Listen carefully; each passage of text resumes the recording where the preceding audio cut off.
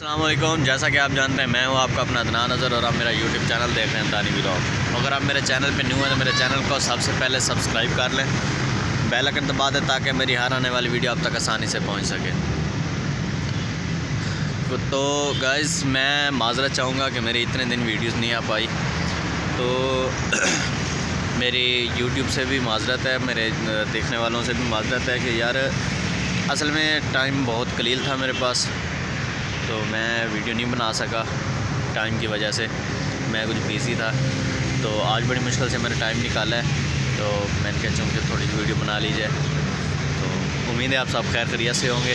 तो आज एक तो न्यू लुक के साथ मैं वीडियो बना रहा हूँ। दूसरा ये कि आज हमारा एक मेरे दोस्त हैं, उमर भाई। तो मैं उनका एज न्यू यूट्यूब चैनल बनाने लगा हूँ। तो उसका लिंक जो होगा ना वो मेरे, मैं आज इस वीडियो में दूँगा। तो प्लीज़ उसे भी जो है ना, उसे सपोर्ट करें। जैसे आप मेरे साथ सपोर्ट कर रहे हैं, आपकी बहुत मेहरबानी, बहुत शुक्रिया आपकी मोहब्बतों का। तो आप उसे भी लाइक करें और सब्सक्राइब तो ज़रूर करना है आप लोगों ने। और कोशिश किया करें, एक आधा कमेंट्स भी कर दिया करें, ताकि आपकी मोहब्बतें जो है ना वो हमारे दिलों में राज करती रहें। तो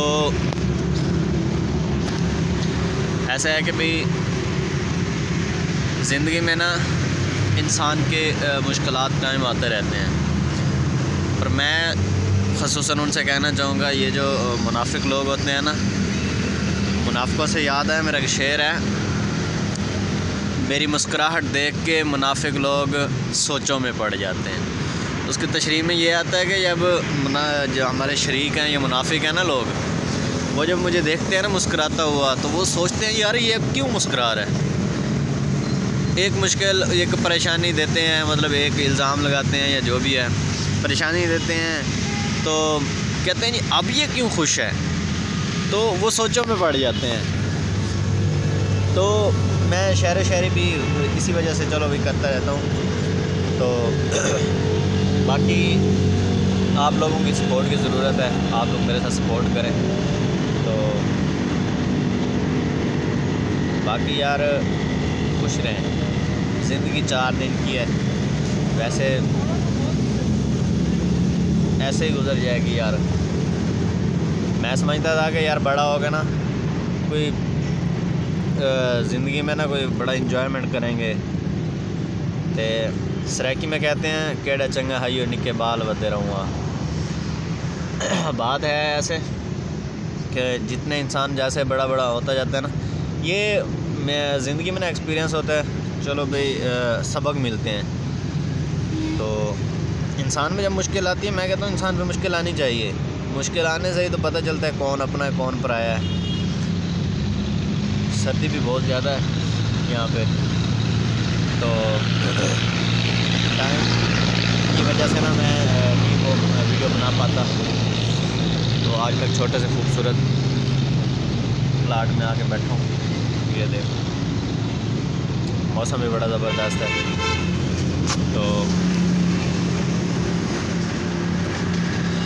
बस, और तो क्या, और सब ठीक ही चल रहा है। तो आज न्यू लुक के साथ मैंने कहा, चलो वीडियो बना देता हूँ। और ये सारा कुछ जो भी हुआ है ना, ये मेरे दोस्त उमर साहब की वजह से हुआ है। उमर साहब ने सारा कुछ किया है। उमर साहब के कहने पे ही हुआ है सारा कुछ। तो तो ज़िंदगी में ज़िंदगी में ये जो एक्सपीरियंस होता है ना, ये इंसान के लिए ना मतलब कि बहुत बड़ा फ़ायदा होता है। ये ज़िंदगी में ना आगे काम आता है इंसान के।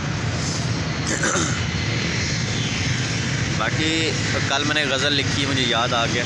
उस गज़ल में भी मैं आपको बताऊँगा। कहता है मेरे अंदर हैं कितने गम। मेरे अंदर हैं कितने गम। मेरे लिए हैं फिर भी कम। तो उसका अगला मिसरा है। कहता है,